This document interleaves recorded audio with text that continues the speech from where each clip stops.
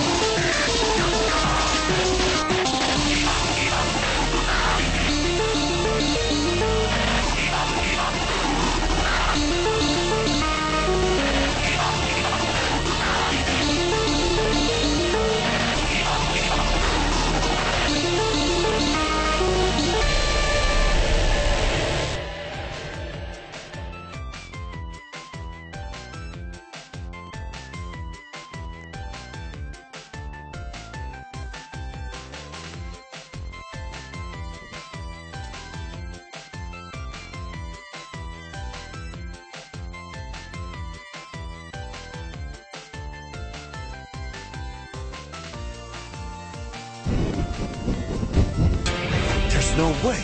No one can just deflect the emerald splash.